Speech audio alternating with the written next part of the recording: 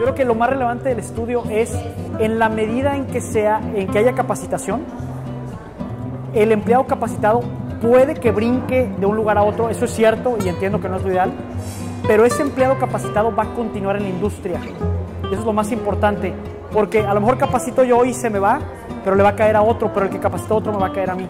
Si logra cambiar la conciencia de competitividad a colaboración, eso es lo más valioso.